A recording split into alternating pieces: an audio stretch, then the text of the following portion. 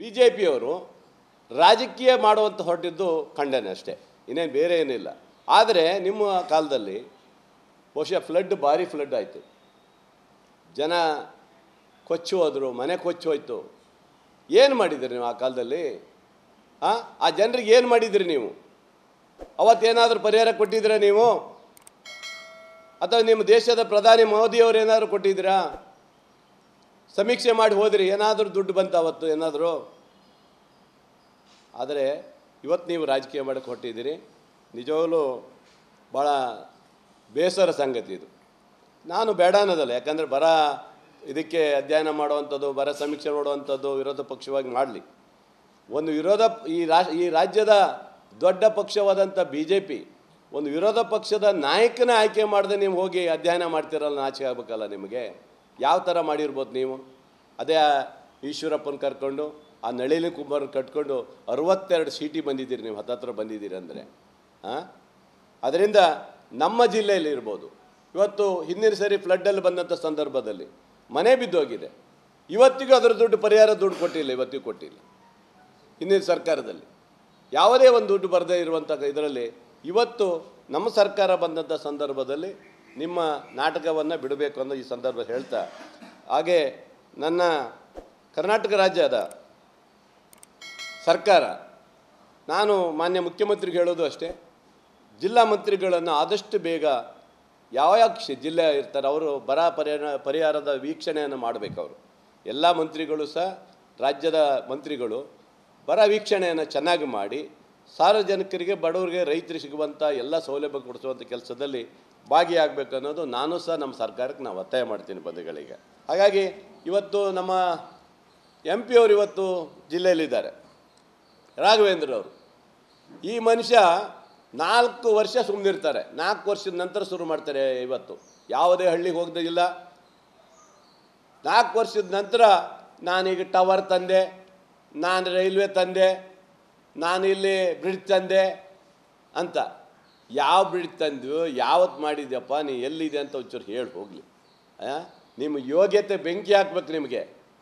ನಾನು ಹೇಳೋದಲ್ಲ ಮೊನ್ನೆ, ತುಮಕೂರು ಮತ್ತು ಸ, ನಮ್ಮ ಶಿವಮೊಗ್ಗ ರಸ್ತೆ ಎಷ್ಟು ವರ್ಷ ಆಯ್ತು ರೀ? ಹಾಂ ಎಷ್ಟು ವರ್ಷ ಆಯಿತು?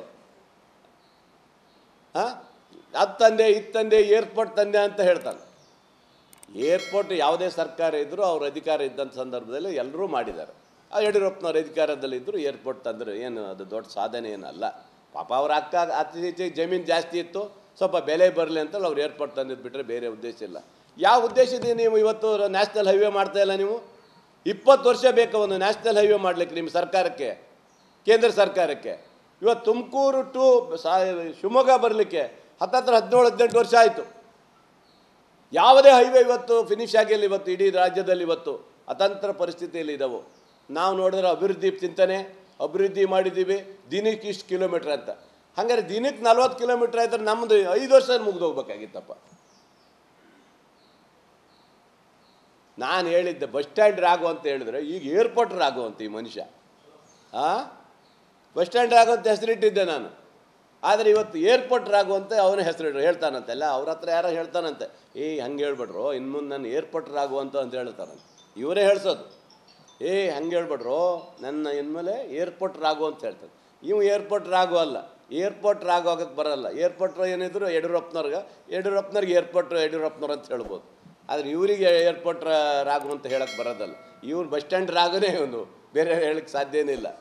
ಇವತ್ತು ಟವರ್ ಇಲ್ಲದೆ ಎಷ್ಟೋ ಜನ ಇವತ್ತು ನಮ್ಮ ಭಾಗದಲ್ಲಿ ಇವತ್ತು ಒಂದು ಕಡೆ ಟವರ್ ಇಲ್ಲದೆ ಎಷ್ಟೋ ವಿದ್ಯಾರ್ಥಿಗಳು ಹಾಳಾಗಿ ಹೋದರು. ಇವ್ರ ಯೋಗ್ಯತೆಗೆ ಇವ್ರು ಏನೋ ಟವರ್ ಹಾಕಿದ್ರ?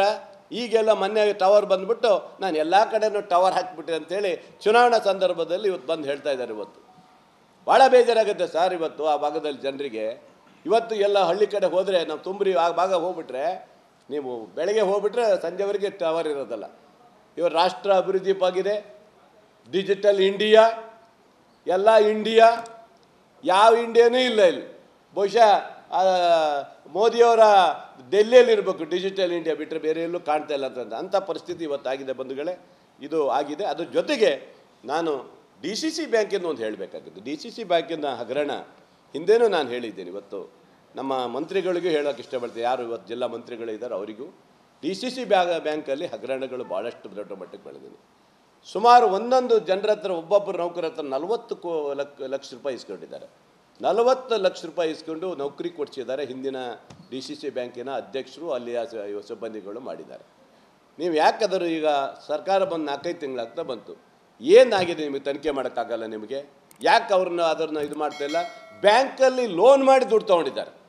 ಅವನಿಗೆ ಬ್ಯಾಂಕಲ್ಲಿ ಲೋನ್ ಮಾಡಿ ಕೆಲಸ ಕೊಡಿಸಿ ದುಡ್ಡು ತೊಗೊಂಡಿದ್ದಾರೆ, ಇಂಥ ಪಾಪಿ ಕೆಲಸ ಮಾಡಿದ್ದಾರೆ ಇವತ್ತು. ನಿಮಗೆ ತನಿಖೆ ಮಾಡೋಕ್ಕಾಗಲ್ವ ನೀವು?